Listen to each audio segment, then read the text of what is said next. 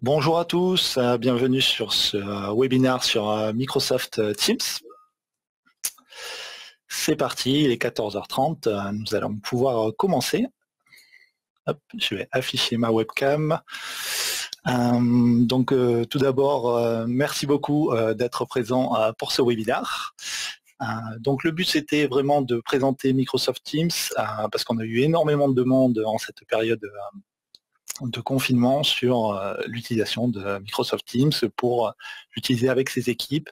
Donc c'est vraiment quelque chose qui est demandé. Et donc c'est pour ça que nous avons proposé ce webinaire. Euh, donc c'est vraiment orienté pour les utilisateurs. Euh, pas, on a eu déjà des questions pour les administrateurs de la solution Teams. C'est vraiment orienté utilisateurs finaux et donc de savoir bah, comment utiliser Microsoft Teams. Donc ce que je vous propose tout de suite, c'est de commencer par un petit sommaire. Donc euh, les points qu'on va aborder déjà c'est bah, qu'est-ce que c'est euh, Microsoft Teams, à quoi ça sert? On va voir ensuite comment on accède à Microsoft Teams, comment on l'installe, sachant que c'est très facile, vous, verrez. C'est vraiment une partie euh, très, très facile. Ensuite, on va aborder les conversations instantanées, qui est le cœur de Teams, et on va voir rapidement pourquoi. La visioconférence avec Teams, qui est aussi donc un outil de visioconférence. Et enfin, bah, pourquoi le produit s'appelle Teams euh, Parce qu'on peut créer des équipes et on verra toutes leurs fonctionnalités euh, pendant ce webinaire. Donc si je commence tout de suite sur euh, qu'est-ce que c'est que Microsoft Teams, pour faire, pour, faire, simple, vous connaissez tous les logiciels de messagerie instantanée les logiciels de messagerie instantanée, on a deux grandes catégories, donc c'est des, logiciels de chat hein, historiquement. on a les catégories grand public, donc tout le monde connaît à peu près Skype, la version grand public, euh, dont l'ancêtre était Messenger, pour euh, les plus anciens d'entre nous. Euh, et également, vous devez connaître probablement la partie WhatsApp, qui est quelque chose qui a vraiment supplanté Skype pour le grand public. maintenant, le plus grand monde utilise Skype. Ça reste quand même un petit peu utilisé, mais sinon, on a vraiment beaucoup de personnes qui utilisent WhatsApp aujourd'hui et qui a remplacé euh, Skype. Eh ben, côté professionnel, euh, on a hum, également euh, des produits donc, qui sont dédiés aux entreprises. Chez Microsoft, donc, on avait Skype for Business ou Skype Entreprise en français, qui était le pendant professionnel de Skype, donc en messagerie instantanée. et ce produit-là, en fait, Microsoft veut peu à peu le remplacer par Microsoft Teams, qui va être donc son successeur et qui possède plus de fonctionnalités. Et euh, donc euh, Microsoft a annoncé l'arrêt de Skype for Business ou de Skype Entreprise pour le 31 juillet 2021. Donc ça veut dire qu'on peut tout à fait continuer à utiliser Skype for Business si vous l'avez aujourd'hui, ça marche très bien. On peut même l'utiliser en même temps que des personnes qui utilisent Teams. Les deux applications sont compatibles même si certaines fonctionnalités ne fonctionnent pas entre elles, comme par exemple le partage d'écran. Euh, mais euh, voilà, Teams n'est ni plus ni moins que l'évolution de Skype for Business euh, en termes de logiciel de messagerie instantanée. Et notamment, on a beaucoup plus de fonctionnalités maintenant sur Teams, et on va les voir aujourd'hui. Comment on fait pour accéder à Microsoft Teams? Bah, Déjà, la première chose, c'est que ça nécessite une licence. c'est un logiciel qui nécessite une licence Office 365. Je ne vais pas rentrer dans le détail des licences qui existent euh, dans ce webinaire. Euh, si vous avez des questions, n'hésitez pas à vous rapprocher euh, de votre interlocuteur chez nous à ce sujet, qui vous expliquera les différentes licences. ce qu'il faut savoir, c'est que en cette période donc de confinement et de coronavirus, Microsoft a lancé une offre à cette occasion qui permet d'utiliser une licence E1 gratuitement pendant six mois pour l'ensemble des utilisateurs. Donc c'est une licence de démo, une version d'essai, qui est gratuite pendant six mois. Donc si, euh, suite à ce webinaire, vous dites, tiens, moi je veux utiliser Teams chez moi euh, et le mettre à tous mes utilisateurs, ben, vous pouvez, et on peut vous activer une licence gratuite pendant six mois. Hum, comment on fait pour accéder à Microsoft Teams je vais juste désactiver les notifications. Euh, comment on fait pour accéder à, Microsoft Teams, euh, donc c'est un produit Office 365. Le plus simple, moi ce que je vous recommande, c'est d'aller sur le portail Office 365. Et donc l'adresse simple à se rappeler pour ça, parce qu'il y en a plein. moi, celle que je vous conseille de vous rappeler, c'est celle-ci qui s'appelle portal.office.com. Et donc ça, ça vous permet d'accéder à tous les produits de chez Microsoft. je vais vous montrer ça maintenant en direct.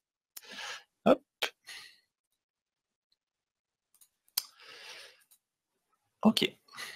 Donc voilà, si vous allez sur cette adresse-là, donc là moi je suis déjà logué, hein, mais si vous allez sur portal.office.com, vous arrivez sur cette page-là, qui est votre euh, écran d'accueil euh, d'Office 365.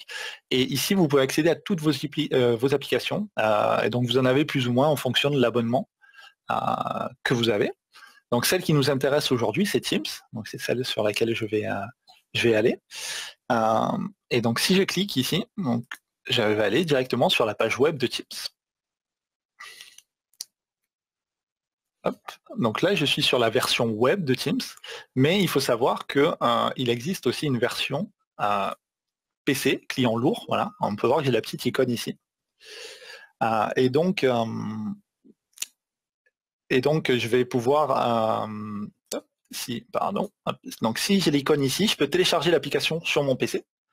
Et donc, c'est quand même beaucoup mieux d'utiliser euh, l'application sur PC. C'est celle que je vais vous montrer. Mais vous sachez que vous pouvez aussi l'utiliser euh, complètement euh, en version web. Si vous voulez rien installer sur votre PC, vous pouvez aussi, l'utiliser en version full web. Et il existe aussi une application sur téléphone mobile. Et je vais vous montrer comment l'installer tout à l'heure. Donc, je vais vous montrer l'application de bureau, celle qui est ici. Voilà ça. Donc ici, vous avez l'application de Bureau Teams. Ici, vous avez les menus euh, qui apparaissent. Euh, le premier menu qui va nous intéresser, donc on a dit que c'était un logiciel de messagerie instantanée, ben, c'est l'onglet conversation. Donc avec Teams, je peux très facilement lancer une conversation avec quelqu'un euh, de mon entreprise. Donc là, par exemple, comment je fais ça? Je vais cliquer ici sur Nouveau. là, j'ai juste à taper le nom de la personne. Donc si je veux commencer une conversation avec Franck, par exemple, je vais cliquer ici. Et euh, je vais commencer une conversation avec Franck. Et là, je peux commencer à lui parler.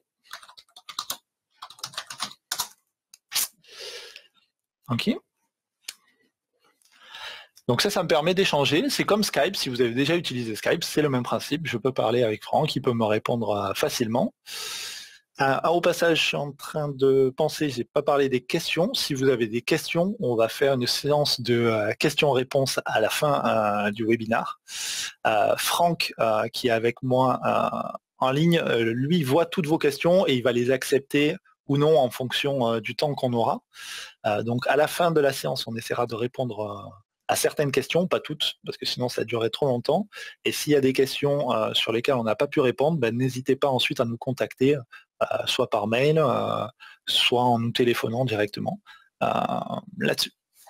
Voilà. Mais donc, si vous tapez des questions et que vous ne les voyez pas apparaître, c'est normal. C'est Franck qui fait la régule là-dessus parce qu'il y en a énormément. il peut y avoir énormément. Donc, c'est lui qui va en sélectionner. Mais, mais ne vous inquiétez pas, si on n'y répond pas pendant le webinaire, on pourra y répondre après, soit par téléphone, soit par mail. Ok, on dit qu'on m'entend moins, pas, très bien. Je vais essayer de parler un peu plus fort. Hop, et je vais augmenter sensibilité. Hum, concernant, donc là je suis sur le chat. Sur ce chat-là, euh, je peux aussi très facilement, donc je, peux parler, mais je peux aussi très facilement euh, partager des fichiers si je le souhaite avec Franck. Donc ici, si je clique sur la petite icône en bas et que je veux envoyer un fichier à Franck, je peux cliquer ici et euh, lui charger un fichier. Donc ce fichier-là va être envoyé à Franck directement dans le chat et lui, il aura juste à cliquer dessus pour l'ouvrir.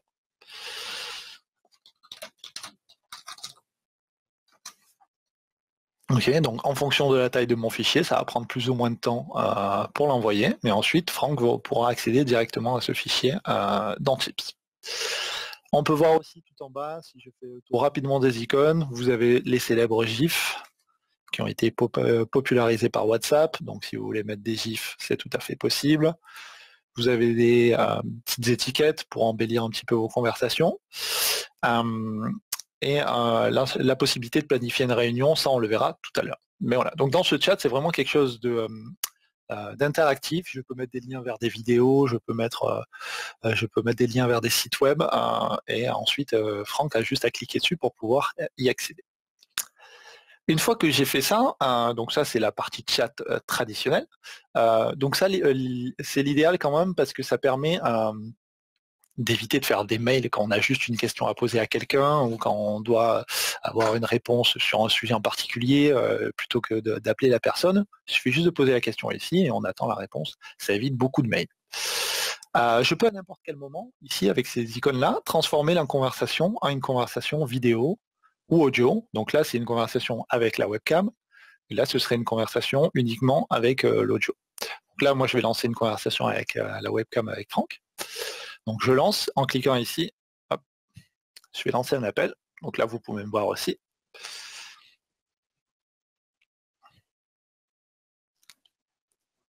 Et donc là, ça sonne chez Franck. Il y a la possibilité, si vous voulez, de mettre en répondeur si vous n'êtes pas dispo. Salut Franck. Et donc, vous n'allez pas entendre Franck parce que je l'ai dans le casque, donc vous n'aurez pas le retour, c'est normal, mais moi je l'entends bien, euh, je vous confirme. Euh, donc la première chose aussi qu'on peut faire, c'est que si, voilà, vous voyez, j'ai pas envie que la personne voit mon arrière-plan euh, chez moi et tout ça, il y a une fonctionnalité qui est très pratique dans Autre Action, ici. Franck vient de le faire, c'est de mettre le floutage de l'arrière-plan. En faisant ça, on voit que l'arrière-plan devient flou et on voit plus trop ce qui se passe derrière moi.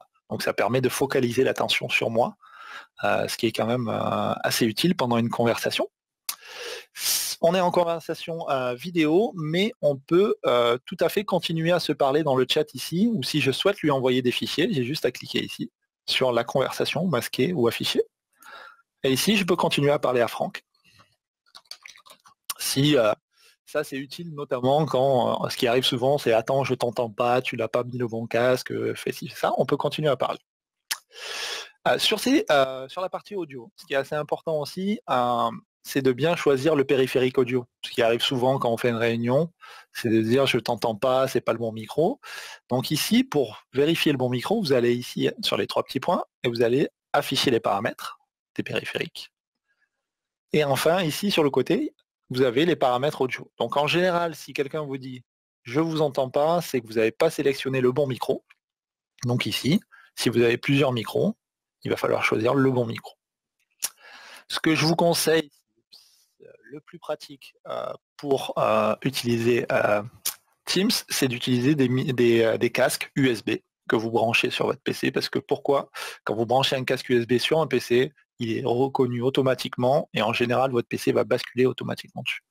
Donc, si vous avez un casque USB, c'est ce qu'il y a de mieux. voilà, donc c'est ici que vous allez choisir les paramètres. Le haut-parleur, c'est pour savoir d'où va sortir le son, et le micro, pour activer votre micro.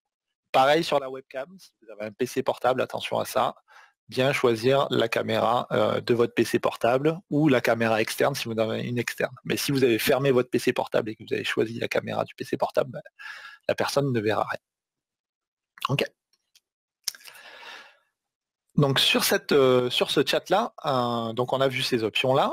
Euh, ce que je peux faire aussi, euh, je peux euh, à n'importe quel moment dire tiens, je veux rajouter quelqu'un dans la conversation. Donc c'est ce que je vais faire. Là, on est en train de parler avec Franck et si on se dit bah tiens, il faudrait inviter Sylvain à notre conversation parce que c'est lui qui a la réponse, je vais pouvoir ici, donc en affichant les participants, je peux à n'importe quel moment inviter quelqu'un en, plus. Donc là, ça va être Sylvain. Et le rajouter à la conversation. Donc là, ce qui se passe, c'est que automatiquement, on voit qu'en bas, j'ai un petit appel qui est en cours de Sylvain. Et donc euh, Sylvain peut, euh, va répondre ou pas en fonction. Moi, je peux continuer la conversation avec Franck. Euh, et ensuite, si Sylvain s'ajoute, ben, je vais pouvoir le voir directement apparaître là-dessus. Donc là, on a Sylvain qui est dans la conversation. Et je peux en inviter... Ok, bah, salut Sylvain. Eh, alors on t'entend pas, il n'y a que moi qui t'entends. Je te précise. Non, pas de souci.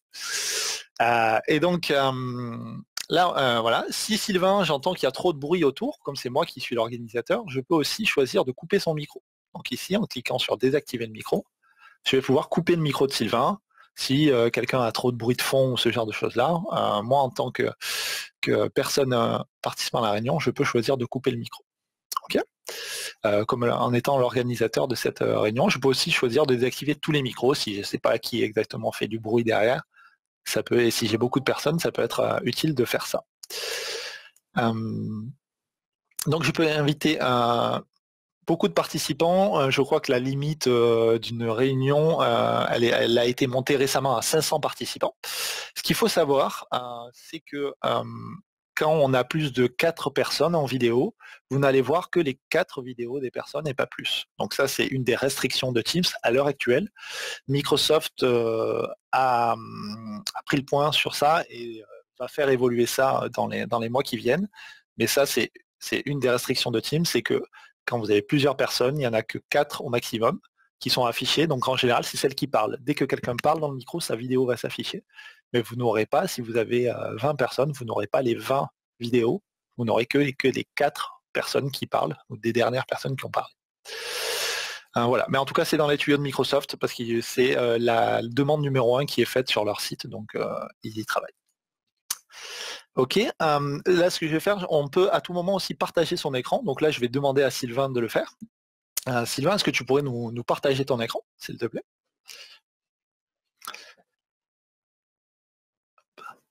C'est un des intérêts aussi euh, de Teams, c'est qu'en étant dans une conversation euh, vidéo, on peut aussi euh, choisir n'importe quel moment de partager son écran. Donc là, Sylvain vient de le faire. Et à ce moment-là, bah, n'importe quel participant de la, conversation peut, partager son écran. Donc quand vous partagez votre écran, moi je peux aussi ensuite choisir de le faire. vous avez plusieurs possibilités, vous voyez ici.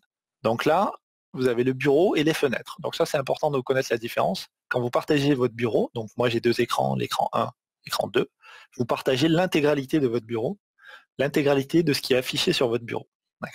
Quand vous choisissez une fenêtre, donc là ici vous voyez que j'ai plusieurs fenêtres, si j'en choisis une, il y aura uniquement cette fenêtre-là qui sera affichée. C'est-à-dire que si j'essaye de montrer une autre fenêtre, les personnes ne les verront pas. Donc ça c'est bien quand on veut euh, uniquement montrer une application et être sûr que rien d'autre soit montré sur son bureau. Euh, par contre, si vous voulez montrer plusieurs documents d'affilée, c'est mieux de, partager son bureau.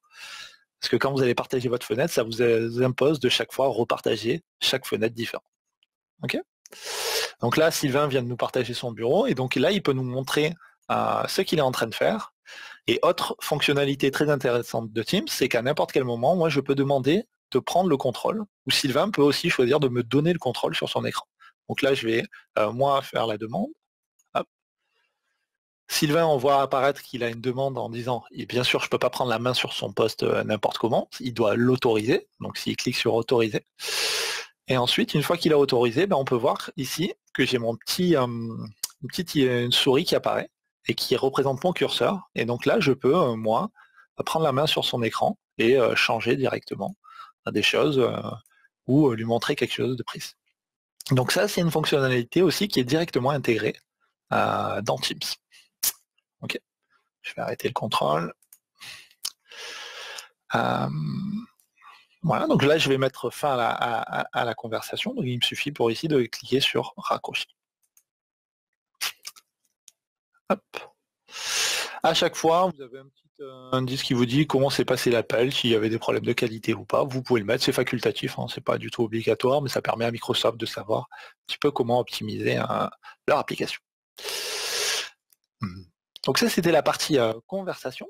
Euh, à noter aussi que là, on a fait une conversation vidéo de groupe, mais je peux aussi, si je le souhaite, faire une conversation chat à plusieurs. Donc là, si je veux parler avec Franck, et je veux parler avec Sylvain en même temps.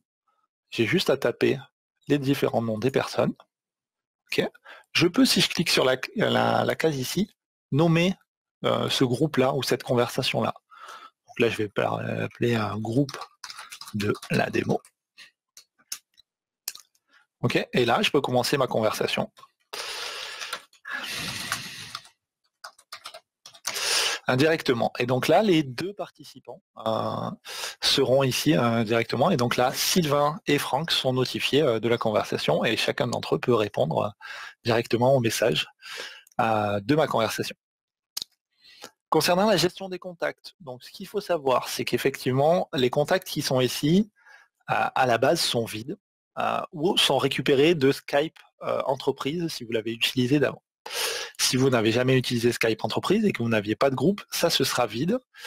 Et effectivement, c'est pas synchronisé avec vos contacts Outlook, ça n'a rien à voir. c'est à vous de les rajouter. Comment on fait pour rajouter un contact? Euh, Il suffit juste de taper son nom ici directement. Donc par exemple, si je veux rajouter Didier, hop. Et par exemple, si je veux parler à Didier et que je veux le mettre dans mes favoris, j'ai juste à cliquer ici à le mettre dans contact favori. Et donc automatiquement, quand je vais aller dans contact, je vais avoir Didier qui est apparu dans mes favoris. Les groupes qui sont ici, c'est des groupes qui sont créés et qui sont propres à chaque utilisateur. Pour l'instant, il n'y a pas de possibilité de faire ça euh, global au niveau d'une organisation. Ce sera éventuellement une progression future. Mais dans ce cas-là, chaque utilisateur peut créer son propre groupe. Donc voilà, moi par exemple, si je veux un groupe avec les commerciaux, euh, je vais créer un groupe. Et ensuite, dans ce groupe-là, euh, je vais pouvoir ajouter des contacts. Donc là, par exemple, chez nous, si je veux rajouter Julien, par exemple. Pour ajouter des contacts, donc c'est assez simple, hein, je tape juste le, je commence à taper les prénoms des personnes et ça s'affiche automatiquement. Donc là, si je, vais rajouter aussi Michael, je commence à taper, il va me proposer. Donc là, vous voyez, ce qu'il me propose à chaque fois, c'est les contacts de mon organisation. Ok si je veux parler avec quelqu'un de l'extérieur, donc c'est possible. Euh, il faut que l'autre personne ait Teams ou Skype entreprise, euh, mais c'est possible. Euh, et pour le faire, en fait, il faut juste taper l'adresse mail de la personne ici dans la barre de recherche. Donc là, par exemple, si je tape l'adresse mail de François Blanc, je vais pouvoir, et que je sais que François Blanc a Teams ou Skype entreprise, je vais pouvoir lui parler et je vais pouvoir communiquer avec lui directement. Par contre, on ne peut pas savoir à l'avance si la personne a Teams ou pas, ça ne nous prévient pas. Il faut juste demander à la personne si elle a ou alors essayer et voir si ça fonctionne ou pas. Hum, voilà pour les conversations. Ensuite, l'autre fonctionnalité euh, importante, importante c'est euh, la partie euh, calendrier. Et le fait de faire des réunions. Je vais vous expliquer ça. je regarde juste, il y a un petit message sur la partie son Ok, on me dit qu'on a des aléas sur mon micro. Je vais essayer de le rapprocher le maximum possible. je ne peux pas faire mieux. Je vais essayer de voir comment c'est branché. Les aléas du direct.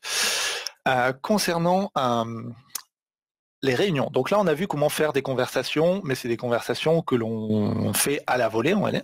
Euh, maintenant, c'est euh, l'autre intérêt de, Teams, c'est de pouvoir faire des réunions, et donc des, réunions, des visioconférences euh, directement, et de pouvoir les planifier. Et ça, avec les personnes qui, qui font partie de l'entreprise ou pas. Donc ça, ça se passe dans le, la petite partie calendrier ici de Teams qui permet de planifier des réunions à l'avance ou d'en créer euh, directement. Donc si je veux créer une réunion tout de suite et la, commencer tout de suite, je vais cliquer sur rejoindre maintenant. Mais là, c'est pas ce que je vais faire. Moi, je vais en planifier une. Et donc pour ça, je vais cliquer sur nouvelle réunion ici. Et je vais pouvoir euh, créer une réunion sur un thème. Donc là, je vais l'appeler réunion de la démo et inviter des participants. Donc là, je vais inviter toujours Sylvain et Franck. Ok. Je peux planifier euh, l'heure euh, de ma réunion. Ça permettra, ça c'est synchronisé avec Outlook, donc ça rajoutera le rendez-vous dans mon Outlook. Euh, je vais pouvoir mettre un lieu s'il y a un lieu spécifique. Ici, je veux, si je veux mettre des détails de la réunion. Le canal, on le verra tout à l'heure. Je ne vais pas rentrer dans les détails maintenant. Et ensuite, je vais l'envoyer. Donc ici, euh, avant de l'envoyer, petit onglet assistant de planification, ça permet de voir le calendrier euh, des personnes que j'invite. Donc là, j'ai mis Sylvain et Franck, ça me permettra de voir si c'est disponible euh, s'ils sont, disponibles pour cette réunion ou pas à ce moment-là. Donc là, j'envoie ma réunion. OK. Et donc là, cette réunion-là. Elle est là. Donc ça, c'est la réunion que, je viens de créer. Et donc là, on peut voir tout de suite euh, qu'il a intégré euh, ce petit lien-là. En fait, si je mets des personnes extérieures, donc là, je pourrais très bien mettre une personne qui ne fait pas partie de ma société, elle va recevoir un mail avec ce petit lien-là qui lui permettra d'accéder à la réunion depuis l'extérieur et sans être euh, sans, sans, faire partie de mon organisation et sans avoir payé de licence Teams ou quoi que ce soit. Donc ça, il a juste à cliquer dessus, ça va lui ouvrir un navigateur web et il pourra directement participer à ma réunion. directement. Donc je peux faire tout à fait de la visioconférence avec des personnes extérieures à ma société par ce moyen-là. Donc les personnes vont juste recevoir une invitation avec ce, lien-là à cliquer. Autre point important, euh, ici, ça va être l'option de réunion. Donc si je veux modifier les options de ma réunion, ça se trouve ici. Donc là, moi, alors, normalement, on peut cliquer directement dessus. Je ne vais pas le faire, moi, parce que j'ai plusieurs comptes. Donc je dois faire une petite manip supplémentaire pour que ça fonctionne. Mais normalement, vous cliquerez directement dessus. Euh, les options d'une réunion, on va les voir là. Euh, il n'y en a pas beaucoup. Hein. En gros, c'est que les personnes qui sont extérieures à la société, par défaut, elles sont dans une salle d'attente. C'est-à-dire qu'elles ne rentrent pas dans la réunion tant que je ne les ai pas autorisées. Si je ne veux pas que ce soit ce comportement-là, je vais mettre tous, et dans ce cas-là, il n'y aura pas de salle d'attente. N'importe qui pourra rentrer dans la réunion et je n'aurai pas besoin de l'accepter euh, dans la salle d'attente. Par défaut, on peut voir que toutes les personnes qui font partie de ma société euh, euh, arrivent directement dans la réunion sans avoir à patienter dans la salle d'attente. Et en fait, l'autre option qu'il y a, c'est qui peut présenter. Donc tout à l'heure, on a montré qu'on pouvait partager l'écran. Euh, donc on peut partager son écran. je, par défaut, tout le monde peut choisir de partager son écran, mais je pourrais aussi dire non, il n'y a que moi qui peut partager mon écran, que certaines personnes ou que les personnes qui font partie de ma société qui peuvent partager l'écran. Ok Une fois que j'ai enregistré les paramètres de ma réunion, je l'ai dans mon calendrier ici. Et je peux, donc à l'heure dite de la réunion, aller la rejoindre. Donc c'est pour ça, j'ai juste à cliquer, à revenir dans le calendrier et à cliquer sur rejoindre. Et ensuite, je rejoins ma réunion, comme on l'a vu tout à l'heure. Ok, donc là je peux voir que dans ma réunion j'avais invité Franck et Sylvain. Euh, pour l'instant ils n'ont pas encore rejoint la réunion. Euh, si je veux euh, lancer, leur, poser une question et leur dire la réunion c'est maintenant, venez la rejoindre, j'ai juste à cliquer ici, demander à rejoindre. Et en fait ça va lancer un appel à Franck pour qu'il rejoigne cette réunion-là, précisément. Hop, et on peut voir que par exemple Sylvain lui a rejoint la réunion en direct. Sans, sans, avoir eu besoin d'être euh, appelé. Est-ce que, est que vous m'entendez bien? Est-ce que sur le, stream, ça, marche mieux le son ou pas? Ok. Ok. ça va dépendre de la connexion de chacun. Sylvain m'entend bien, Franck moyennement. Ok. Bon, on va faire avec. De toute façon, je ne peux pas améliorer plus mon micro pour l'instant. Euh, ok, donc voilà, ça c'était la, la, réunion que l'on peut euh, donc que l'on peut euh, initier de soi-même. Et donc je précise bien, ces réunions-là ne sont pas réservées qu'aux membres de votre société. Vous pouvez tout à fait inviter des personnes extérieures euh, et qui pourront se connecter directement depuis un navigateur web. Utilisation de Teams, on a parlé tout à l'heure, je peux l'utiliser via un navigateur web, je peux l'utiliser avec l'application, mais je peux aussi l'utiliser sur mon mobile. Donc pour l'utiliser sur mon mobile, vous avez juste à télécharger l'application Teams sur le store de votre, euh, euh, téléphone. Et si vous ne savez pas où le trouver, vous avez aussi la petite icône ici euh, qui va vous faire afficher un QR code et des liens pour l'installer sur un iPhone ou sur un téléphone Android. Toutes les fonctionnalités qu'on a vues là se retrouvent sur l'application du téléphone et fonctionnent très bien. Donc je peux participer à une réunion vidéo avec mon téléphone, à une réunion en audio avec mon téléphone en ayant l'application installée dessus. Ça fonctionne également en voiture, euh, en réunion audio, je l'ai testé, ça marche avec le Bluetooth de la voiture. Déjà testé, ça fonctionne très bien. Euh, donc ça, c'était toute la partie euh, réunion. avant de quitter cette partie-là, petite fonctionnalité que je ne vais pas rentrer dans les détails, mais que je vous montre qui est sorti récemment, c'est le fait de pouvoir, plutôt que de faire une réunion, de faire de la diffusion d'événements en direct. En fait, c'est le même principe que ce que vous êtes en train de regarder là sur votre navigateur web. C'est que plutôt que de faire une réunion, vous allez diffuser une vidéo en direct sur Internet et vous allez juste envoyer un lien aux personnes. Elles cliquent sur le lien et elles peuvent voir votre vidéo en direct. Voilà. Elles ne peuvent pas c'est de la diffusion en direct, elles peuvent poser des questions dans un chat. Euh, mais c'est surtout utilisé pour des webinaires ou des présentations où on a juste besoin de diffuser un flux et pas forcément de faire, de faire des conversations audio, ce genre de choses. Donc ça, c'est assez récent et ça vient de sortir. Et ça, pareil, ça fonctionne très bien. Et quand vous avez des gros événements, des diffusions, c'est ce genre de choses-là qu'il faut utiliser.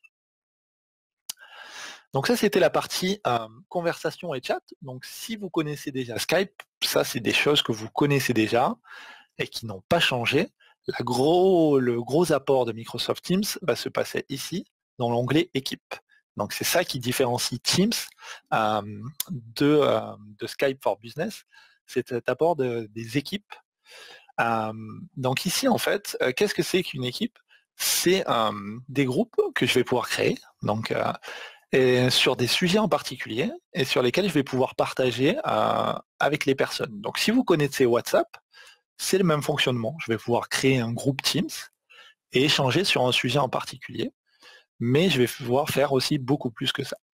Donc pour vous montrer ça, euh, ce que je vous propose, ben, c'est tout de suite de créer une équipe pour vous montrer un petit peu euh, à quoi ça sert. Donc la création d'une équipe, j'ai juste à, cliquer sur créer une équipe en bas si je peux aussi en rejoindre une s'il y en a une qui est déjà créée. Moi, ce que je vais faire, je vais en créer une. Donc, imaginons que je souhaite créer un groupe de travail dans, dans mon entreprise sur un événement en particulier. Donc, on va dire, par exemple, chez Axon, on voudrait faire un événement client. un événement client. Et on voudrait inviter des clients et je voudrais que les personnes qui s'occupent de l'événement travaillent avec moi là-dessus. Euh, donc la solution traditionnelle, ce serait de se dire ben, on va se faire des réunions, on va se faire un partage sur le serveur de fichiers où on mettra les dossiers, on va s'envoyer des mails. Euh, le but de Microsoft Teams, c'est de remplacer tout ça et de tout euh, stocker au même endroit. Donc là, je vais créer mon équipe. Je peux la créer soit s'il y a déjà des groupes existants, je peux la créer à partir d'un groupe déjà existant ou d'une équipe existante. Moi, je vais la faire à partir de zéro. Il me demande ensuite quel est le type d'équipe. Donc j'ai deux notions, l'équipe privée et l'équipe publique. L'équipe privée, euh, je serai le seul, la seule personne, c'est moi qui ai créé l'équipe, qui pourrait décider qui fait partie de l'équipe ou pas. D'accord? C'est-à-dire que c'est moi qui dis telle personne, Sylvain, fait partie de l'équipe.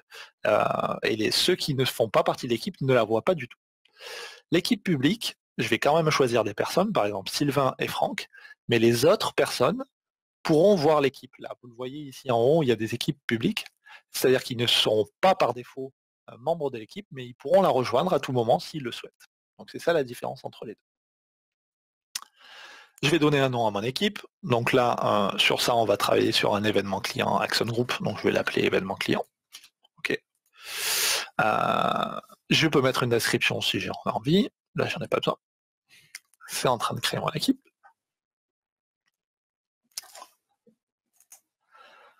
Et ensuite, je vais inviter les personnes. Donc là, par exemple, toujours la Dream Team, je vais inviter Franck et Sylvain dans l'équipe et je les ajoute. Ok, donc là, elles sont ajoutées. Je peux choisir de les mettre membres ou propriétaires. Quand elles sont membres, elles peuvent voir l'équipe, mais elles ne peuvent pas faire des modifications euh, de type administrateur de l'équipe ou changer des onglets, ce genre de choses-là. Si je les mets propriétaires, ils sont propriétaires comme moi, et donc pourraient faire euh, des changements sur l'équipe. Donc là, je vais les laisser membres. Et enfin, une fois que j'ai créé une équipe, on peut voir que tout de suite apparaît un onglet de conversation générale, donc euh, ce qu'on appelle la publication, et où je vais pouvoir commencer à, parler avec les membres de mon équipe. Bonjour. Ok. Donc quand je fais ça, tous les membres de l'équipe vont voir apparaître dans cet onglet-là une notification en disant ben, quelqu'un a parlé. Et donc là, ils peuvent me répondre directement. Possibilité aussi sur les messages de faire des petits euh, likes, euh, des petits symboles, si on veut euh, le faire. C'est typiquement l'utilisation de WhatsApp ou de Facebook Messenger si vous connaissez. Euh, et donc ces conversations-là, l'avantage, c'est que n'importe qui, quel membre de l'équipe qui serait même rajouté après, pourrait voir la conversation et avoir euh, l'historique. On peut voir que voilà, j'ai des petites notifications euh, aussi qui apparaissent en fonction des gens qui ont réagi à mes messages directement là-dessus. Donc ici, je retrouve le chat, comme on a vu, et donc typiquement la même utilisation qu'un groupe WhatsApp, c'est-à-dire que toutes les personnes qui font partie du groupe peuvent participer à la conversation, mettre des pièces jointes, mettre des smileys, des gifs, ce genre de choses. À n'importe quel moment, si je souhaite faire une réunion avec les personnes de cette équipe, je peux cliquer ici sur Rejoindre maintenant et lancer une réunion vidéo ou audio avec les, membres de l'équipe. Donc là, je ne vais pas le faire, vous avez compris le principe. Mais ici, en cliquant sur la petite caméra, je peux le faire à n'importe quel moment. Euh, ensuite, donc l'intérêt des équipes, ça va être aussi de pouvoir stocker des fichiers qui seront partagés avec tous les membres de l'équipe. Donc ici, j'ai un petit onglet fichiers où je vais pouvoir déposer des fichiers et où les personnes qui sont membres de l'équipe vont pouvoir accéder. Donc ici, je vais déposer des fichiers. Donc par exemple, j'ai un fichier Excel. On a dit qu'on allait faire un événement client, donc j'ai la liste des invités. Euh, et je voudrais que tout le monde travaille sur le même fichier, qu'à chaque fois de se l'envoyer par mail, d'avoir 15 versions différentes. Je voudrais que tout le monde travaille sur ce fichier-là, donc je le mets là-dedans. Et ensuite, j'ai euh, une présentation euh, que l'on va faire. je veux charger le PowerPoint, pareil, parce que je voudrais qu'on en parle ensemble. Donc je vais charger ici. Donc attention, quand je fais ça, c'est bien quelque chose où je charge mon fichier. Donc c'est une copie de mon fichier qui est réalisée et qui est stocké sur l'équipe. D'accord? Le fichier que j'avais sur mon bureau est copié. Euh, mais maintenant, si je fais des modifications sur ces fichiers-là, le fichier que j'avais sur mon bureau, lui, ne sera plus modifié. Ce sera sa copie qui est ici qui sera modifiée. Ok, donc maintenant, le fait de pouvoir faire, d'avoir fait ça, euh, ça permet à Franck et Sylvain d'accéder à ces fichiers-là, s'ils le souhaitent, euh, directement. Troisième onglet, on va le voir euh, quelle est l'utilité par la suite. Derrière, j'ai un troisième onglet qui est toujours créé, donc ici en haut, qui est l'onglet Wiki, qui permet de, euh, de, faire du texte formaté. Donc en gros, l'idée c'est que quand on est dans un chat ici, je peux avoir des conversations dans tous les sens, mais il a pas, c'est pas, si je dois retrouver une information là-dedans, c'est pas forcément facile. Le wiki, je vais pouvoir faire des petites parties euh, où ça va être bien plus simple euh, d'organiser l'information. Donc là, pour l'instant, euh, pour l'événement client, je vais ici mettre résumé des informations. Et ici, je vais mettre, il y a une section, ce sera le lieu qu'on aura choisi, la date, les invités. Ok. Donc là, par exemple, ça peut être très utile. Si vous devez faire des comptes rendus de réunion, ça permet de, structurer un peu plus l'information euh, directement. Donc c'est à ça que se sert le wiki. On peut très bien aussi se dire, bon, ça, finalement, ça ne me sert pas à grand chose, ces trois onglets, euh, cet onglet-là, wiki, je peux le supprimer pour dire non, dans cette équipe-là, je ne vais pas faire de, page wiki parce qu'elle ne me sert à rien. Donc je peux le supprimer. Ok. Euh, donc j'ai supprimé mon onglet et on peut voir ici que j'ai un petit plus. Donc dans les onglets, l'onglet publication où je vais parler avec mes membres de l'équipe, les fichiers où je vais partager des fichiers avec eux, je vais pouvoir ajouter d'autres onglets. Ah, et cela, c'est là la force de Teams, je vais pouvoir mettre vraiment tout ce que je veux en termes d'onglets là-dessus. Donc on peut voir que j'ai énormément d'applications, donc toutes les applications Office à 365. Je peux publier un site web, on va le voir tout à l'heure, je peux publier une vidéo YouTube, et je peux aussi me connecter avec énormément d'outils web euh, qui existent. Donc je ne vais pas tous les passer en, revue. Euh, mais par exemple, si vous travaillez avec un logiciel de gestion de projet comme Asana, vous pouvez très bien euh, publier les informations là-dedans, avoir un onglet directement accessible là-dessus. Si vous travaillez avec Trello également, voilà, vous pouvez directement publier les informations là-dessus. Je vais vous montrer comment ça fonctionne plus simplement, par exemple, sur un site web. Donc imaginons, je veux faire rajouter un onglet et je veux rendre accessible un site web. Donc pour ça, je vais cliquer sur l'onglet site web, il va me demander un nom de l'onglet. Donc là, moi j'ai choisi un lieu pour notre événement qui m'a l'air sympa et je voudrais rajouter le site web de ce lieu-là. Donc je vais mettre euh, lieu de l'événement. Et là, je vais mettre le site web qui est associé là-dessus. Donc j'ai trouvé un superbe endroit pour faire mon événement, je mets son URL ici et j'enregistre. Ici directement, ben voilà, j'ai le site web qui se charge et directement qui va donner un, qui va s'afficher. Donc ça, ça permet aux équipes directement, euh, on leur a dit ben voilà, on a choisi le lieu, le site web il est là, ben quand ils vont aller dans l'équipe et dans l'onglet lieu événement, ils auront directement le site web sous les yeux. Et ici on peut voir dans publication, euh, ça a aussi indiqué que j'avais rajouté ce nouvel onglet avec le lieu de l'événement. Donc si je clique dessus, j'y vais directement là-dedans. Donc c'est ça aussi cette force-là, c'est qu'on peut afficher n'importe quel site web. Du moment où vous avez une application qui a un lien web ou quoi que ce soit, vous pouvez la publier dans Teams directement euh, sous ce format-là. Euh, ici, on peut voir qu'il y a une vidéo YouTube. Euh, tiens, je me suis dit, tiens, je voudrais que les gens ils puissent la voir aussi directement en cliquant sur un onglet, plutôt que d'aller en bas et de cliquer. Ben, je vais rajouter un petit plus ici. On peut voir que dans la liste des applications, j'ai YouTube que je peux diffuser. je vais cliquer sur YouTube. Je vais l'ajouter. Et ensuite, euh, il va me demander euh, donc soit le nom de la vidéo, soit le lien. Moi, je vais mettre le lien directement. Je le connais déjà. Hop. et hop, là, je peux mettre un lien, par exemple, sur Action Group. Et donc là, directement, dans l'onglet, j'ai le lien avec la vidéo YouTube Action Group qui est diffusée. Hop, on peut le voir directement. Donc l'avantage, c'est que ça permet vraiment de centraliser toutes les informations à un seul et même endroit.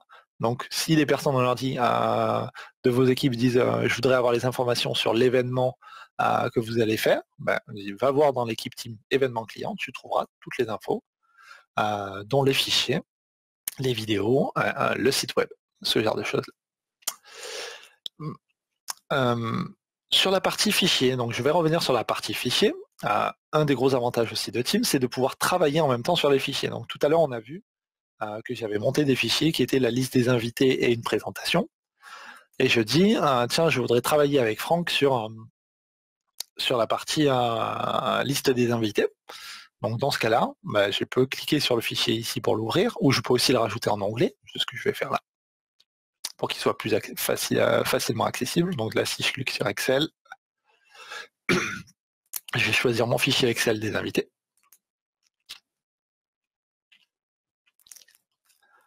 Et ensuite, on peut voir que voilà, ici, comme je l'ai choisi, hop, il va l'ouvrir directement euh, depuis Teams.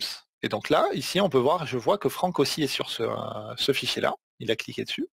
Et donc là, je peux travailler en même temps que Franck sur ce fichier-là directement. On voit qu'il est là, je vois son petit, euh, son petit curseur apparaître. Et si par exemple il veut rajouter des invités, ben, il peut le faire en direct. Je vais le voir apparaître en direct, euh, euh, les invités qui sont rajoutés par, Franck. Hmm. Je peux aussi, sur les fichiers Excel, donc ça c'est la version web intégrée d'Excel, mais je peux aussi, si je préfère utiliser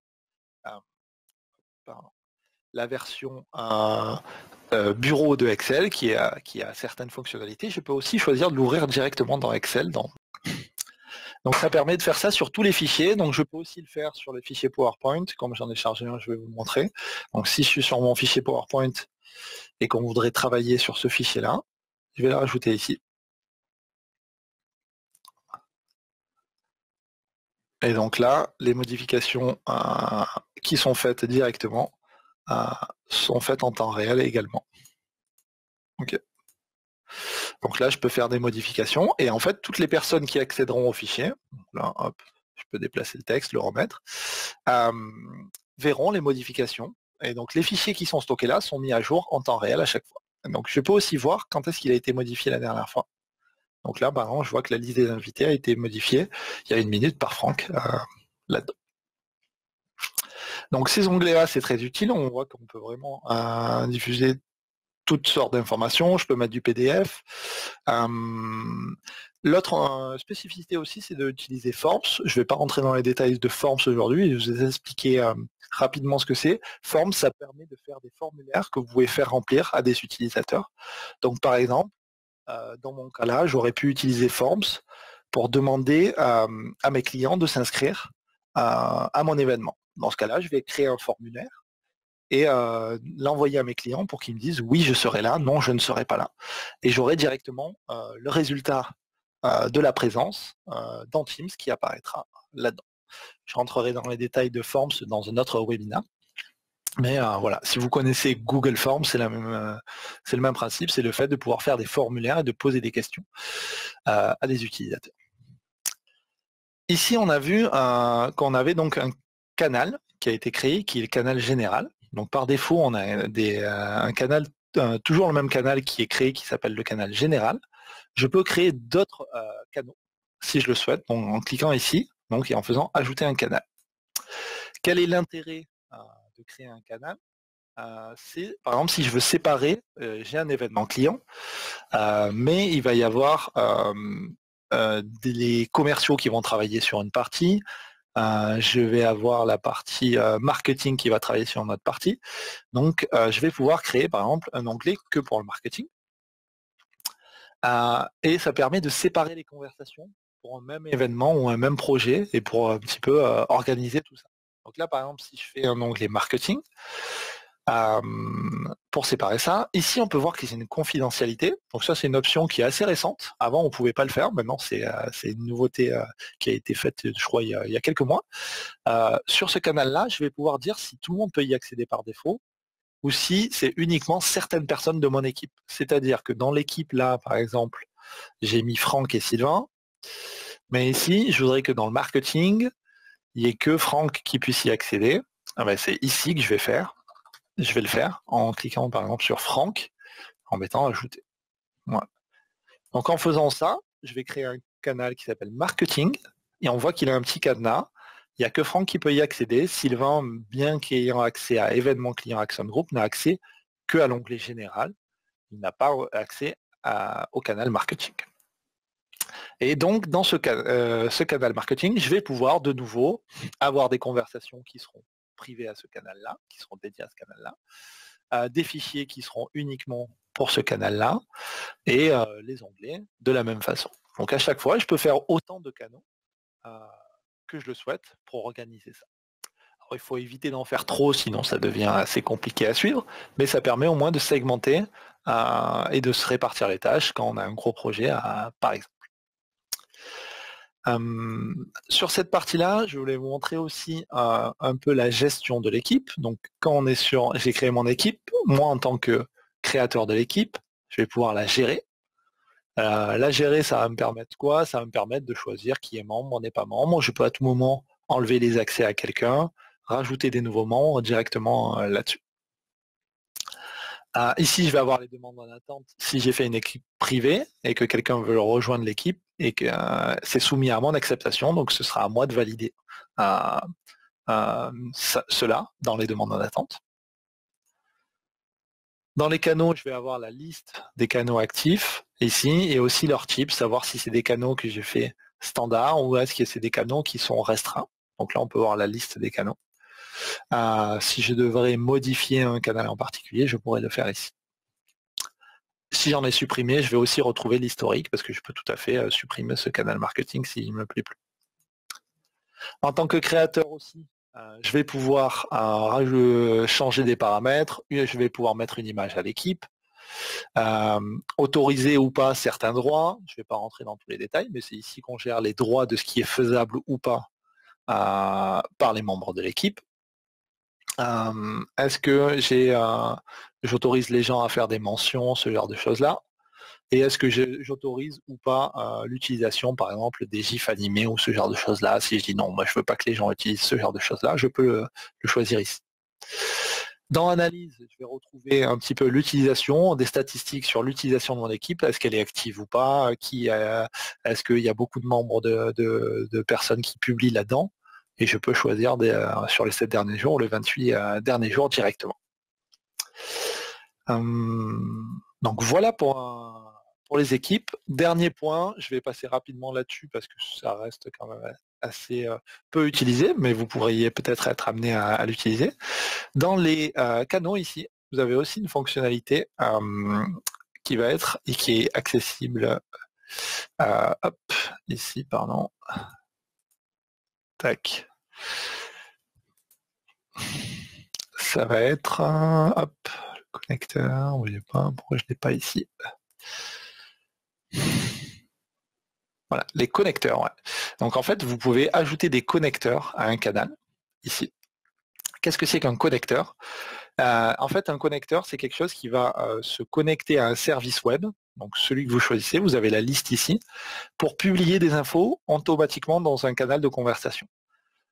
L'exemple qu'on pourrait utiliser, c'est que vous utilisez une page Facebook euh, qui publie des articles et vous voulez que automatiquement les nouveaux articles soient publiés dans la conversation pour que les gens soient au courant.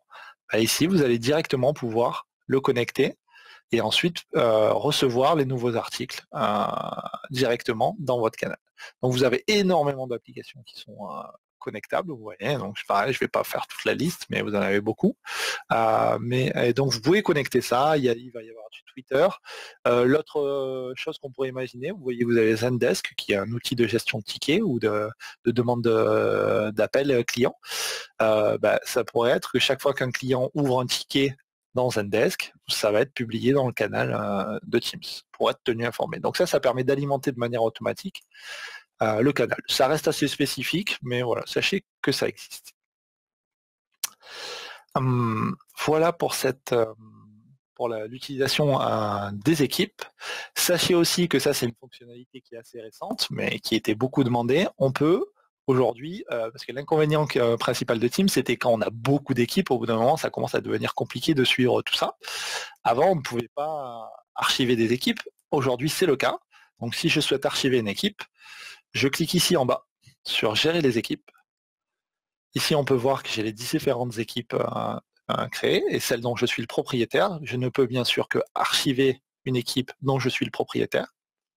Et donc, dans ce cas-là, pour le faire, je vais cliquer ici et je vais cliquer sur archiver l'équipe. Ok. Donc automatiquement, il va me demander si je veux bien archiver l'équipe. Donc le fait de l'archiver, l'avantage, c'est que ça ne la supprime pas. C'est juste qu'elle est plus accessible ici. Et là, il n'y a que moi, le propriétaire, qui peut la consulter et éventuellement la restaurer si besoin. Voilà. Mais au moins, ça permet de nettoyer un petit peu euh, toutes les équipes, parce que quand on en a beaucoup, euh, ça, commence à être euh, compliqué. Voilà pour ces, euh, équipes. Ce que je vous propose maintenant, c'est de répondre à quelques questions. alors je suis désolé, on ne va pas pouvoir répondre à toutes les questions, mais de répondre à quelques-unes. Donc je vais me connecter sur l'interface.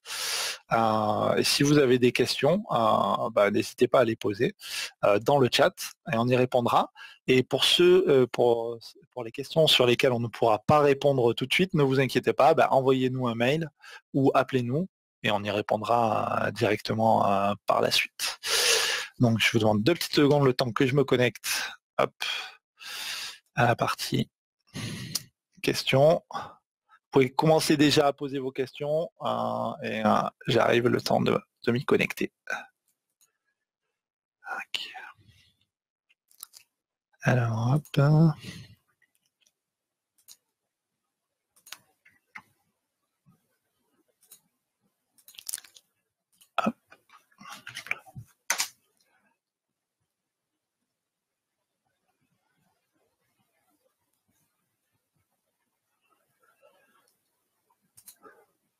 Ok. Alors. On y va. Est-ce que tu en as déjà choisi, Franck? Alors, je vais juste appeler Franck en même temps, comme ça, moi, je pourrais l'avoir en audio. Moi, et hop.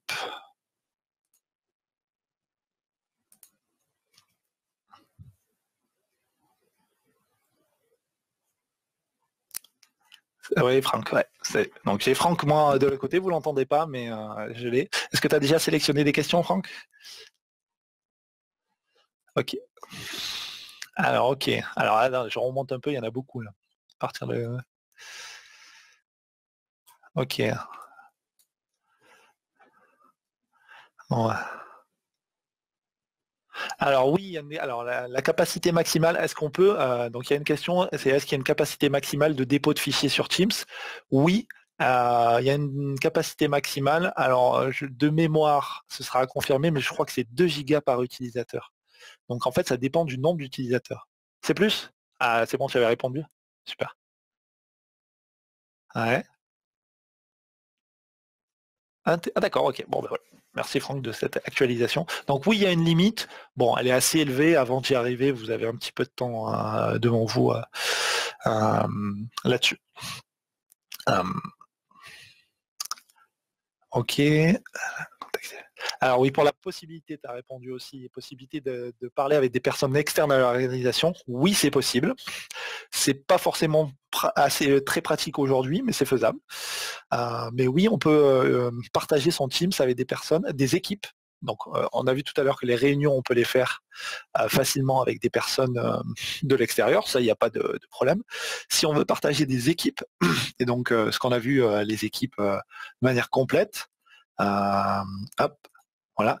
On peut, bon, ça reste assez complexe à mettre en œuvre, mais c'est faisable de partager ça directement. Donc là, des fichiers.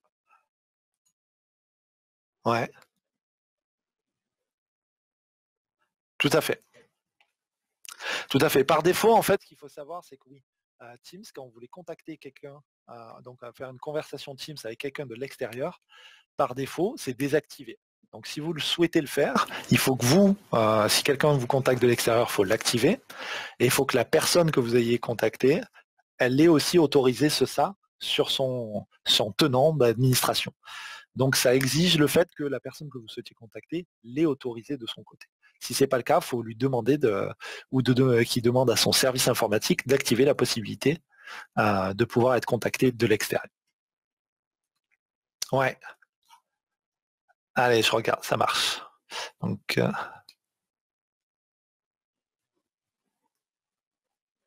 Ok, donc hop, je vais avoir la partie, donc là je vais répondre sur la partie Zoom Pro.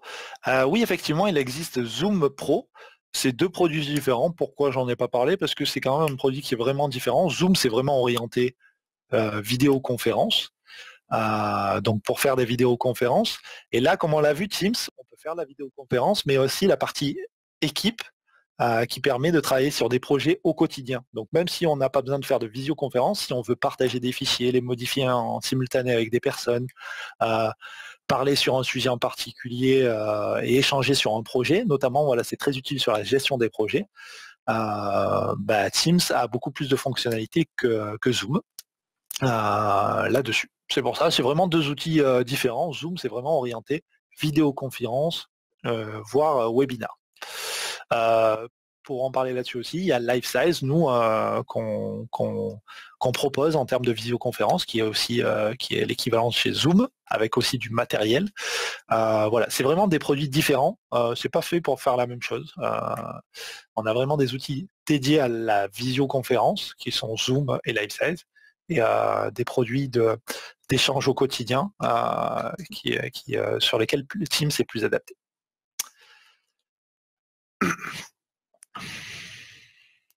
Euh, alors, euh, Wood Clap sur Teams, non, je ne vais pas l'expliquer là, parce que c'est spécifique, euh, mais je l'expliquerai. Donc, comment utiliser Wood Clap sur Teams.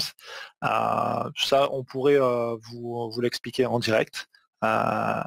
donc ça, n'hésitez pas à nous poser la question par mail directement. Euh, couper le micro et l'exclusivité de l'organisateur, oui, tout à fait. Euh, c'est euh, l'organisateur, sachant qu'il peut y avoir plusieurs organisateurs dans une réunion.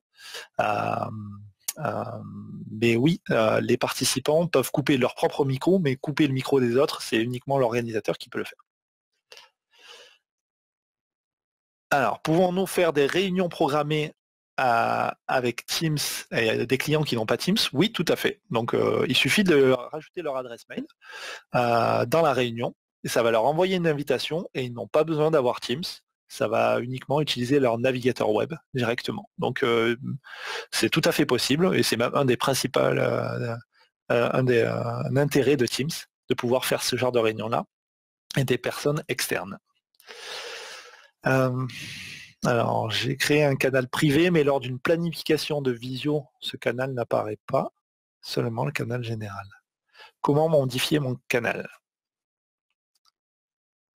Ah, ben Ça, ce sera dans les options euh, euh, des canaux, comme je l'ai montré tout à l'heure. Ça, n'hésitez pas à nous poser la question euh, par mail ou par support, on vous y répondra directement. Alors, si une personne vous invite en direct à une réunion Teams, alors que vous êtes déjà sur une autre réunion, cette personne le voit. Oui, en fait, ça va vous dire que vous êtes occupé. Vous, ça va sonner. Donc, euh, je réponds à la question celle-ci. Si vous êtes déjà en ligne alors qu'on vous appelle sur Teams, vous, vous allez être notifié. Et vous pouvez soit dire de prendre l'appel et de mettre en attente votre réunion en cours, soit de refuser l'appel, soit ne pas y répondre.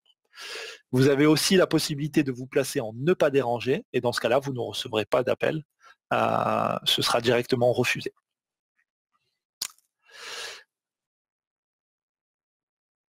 Alors, ok, comment réintégrer par la suite les fichiers sur le serveur? Très bonne question. Donc si vous avez posé des fichiers dans Teams, comme je l'ai dit tout à l'heure, ces fichiers-là sont stockés sur Teams. Donc euh, derrière, euh, c'est un stockage en ligne. Et donc, euh, si vous modifiez ces fichiers-là, bah, du coup, ce ne sera plus les mêmes que ceux que sur vos serveurs de fichiers. Si ensuite vous voulez les réintégrer sur votre serveur, il faut les retélécharger et écraser la version de vos serveurs avec cette version-là. C'est pour ça, et voilà, il n'existe pas, de synchro de serveurs de fichiers avec Teams. Pour l'instant, c'est pas pas le cas et c'est pas fait pour. Je pense pas que ce sera fait pour, euh, ça. Euh, Teams c'est vraiment fait pour travailler sur des sujets particuliers. Donc moi ce que je vous conseille, c'est de dire voilà, sur ce projet-là, en particulier, on va tout travailler dans Teams. Et sur ce projet-là, on travaillera sur le serveur de fichiers, mais de bien séparer ce sur quoi vous allez travailler et les espaces de stockage. Parce que sinon, ça vous impose à retélécharger les fichiers et à remettre à jour les versions que vous avez sur vos serveurs de fichiers. C'est pas très pratique.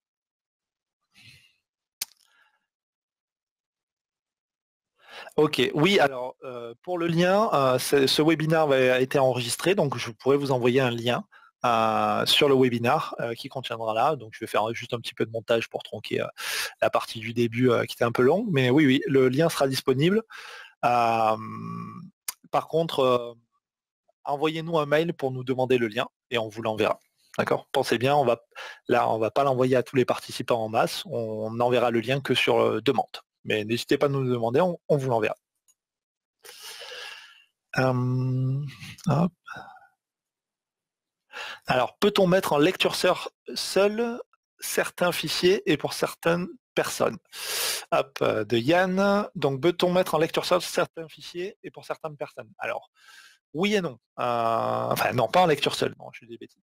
Non, on ne pourra pas mettre en lecture seule un fichier. Euh, du moment où un fichier est déposé dans Teams et que la personne a accès, donc là, si je prends le canal général, si j'ai posé un fichier là, du moment où il est là, tout le monde y a accès en lecture-écriture. Euh, il n'y a pas de gestion des droits à ma connaissance là-dessus. Euh, là-dessus, le seul moyen après, c'est de créer des canaux différents et de, couper les accès. Euh, parce que sinon, mais dans ce cas-là, la personne n'a pas accès du tout au fichier. Mais il n'y a pas d'accès en lecture seule pour le moment là-dessus. Possible. Donc soit la personne a accès au fichier, soit elle n'a pas accès.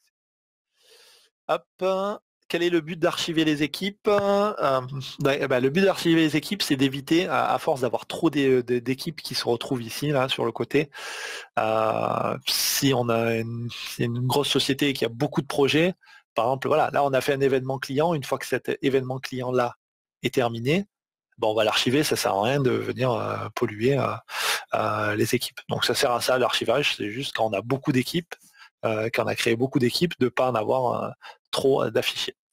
On a aussi euh, une possibilité, c'est de le masquer. Le masquer, c'est juste que l'équipe est toujours là, elle n'est pas archivée, mais je vais pouvoir la masquer.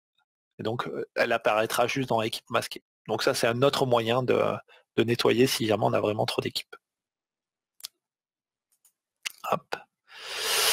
Euh, est-ce qu'il est possible de partager des documents quand on utilise Teams sur le web? Oui, tout à fait. La version web permet de faire ça de la même manière.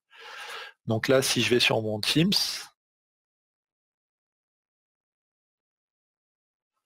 euh, ici, euh, je vais pouvoir partager euh, mes documents. en fait, je peux accéder aux équipes ici, dans la version web, et je peux tout à fait poser des fichiers. Ici, j'ai accès à l'onglet fichiers de la même manière. Donc, je peux tout à fait poser des fichiers, y compris sur la partie web.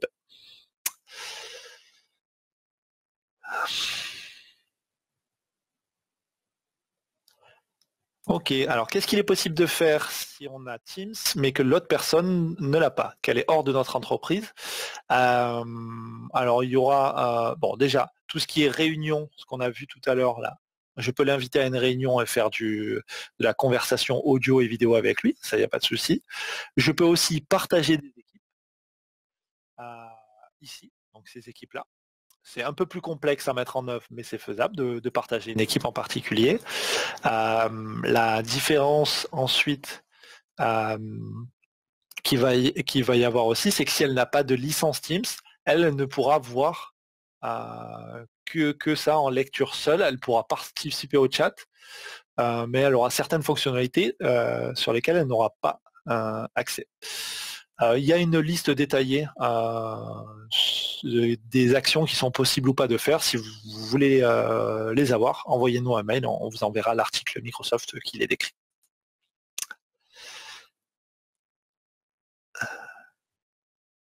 Pourquoi on ne peut pas ajouter l'outil planner dans un canal privé? Bonne question, je ne sais pas. je ne saurais pas y répondre. Je ne savais même pas que c'était euh, pas possible.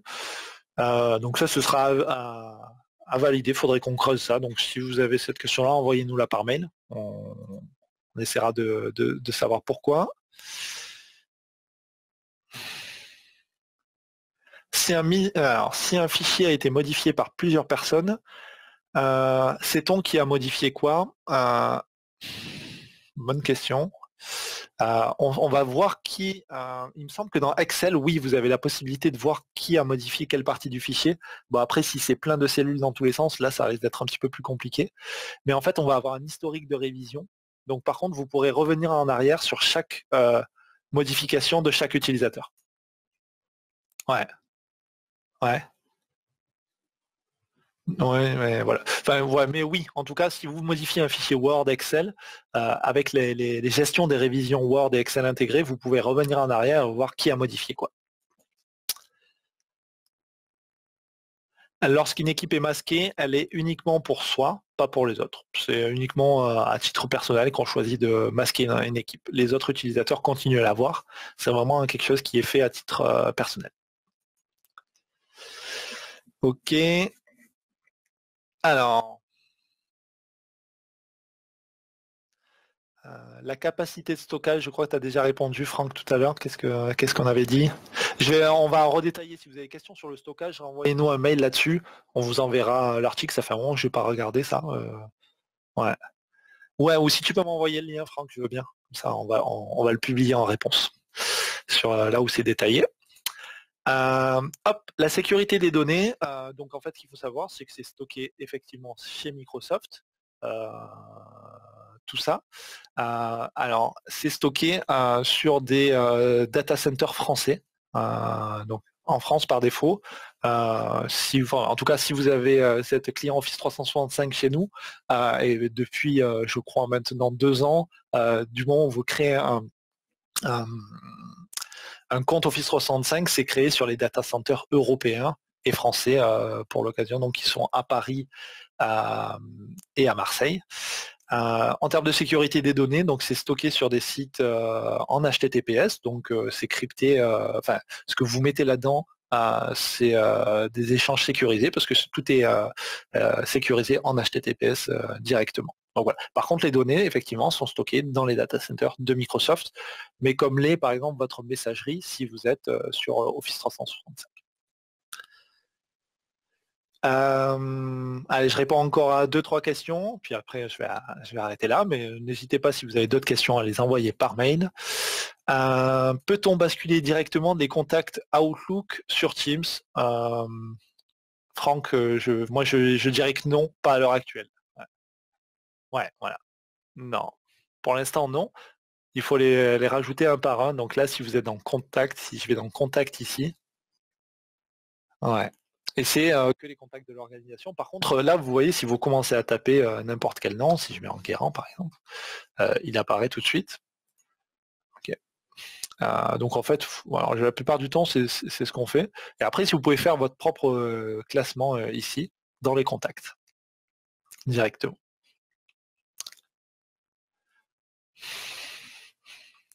Ok. Euh, peut-on voir les membres de l'équipe si on n'est pas propriétaire du canal? C'est une bonne question. Je crois que oui. oui. Euh, on peut voir les, euh, membres de l'équipe si on n'est pas propriétaire du canal. C'est pas une donnée privée. Ouais, voilà, c'est ça. Franck me confirme. Donc oui, Vincent, on peut tout à fait voir les membres de l'équipe, même si on n'est pas propriétaire du canal. On voit qui est dans l'équipe. C'est pas une donnée privée. En tout cas, ben, merci beaucoup. On va arrêter là arrêter là cette conversation, enfin ce webinaire. Merci en tout cas pour votre participation. Donc si vous avez d'autres questions, bah, n'hésitez pas, vous, contactez directement votre interlocuteur chez Axon Group ou vous pouvez aussi m'envoyer un mail directement et on essaiera d'y répondre au mieux. Et n'oubliez pas que si vous voulez le tester en ce moment, on peut tout à fait activer des comptes de démo. et si aussi vous êtes un client manager chez nous, on a la possibilité de l'installer automatiquement sur, sur vos PC. Donc ça, c'est quelque chose qu'on peut faire. On a des scripts qui le font. Donc si on doit le déployer sur plusieurs utilisateurs, bah, faites-nous en la demande au support. C'est quelque chose qu'on peut faire très facilement. Merci à tous et bonne fin d'après-midi. Au revoir.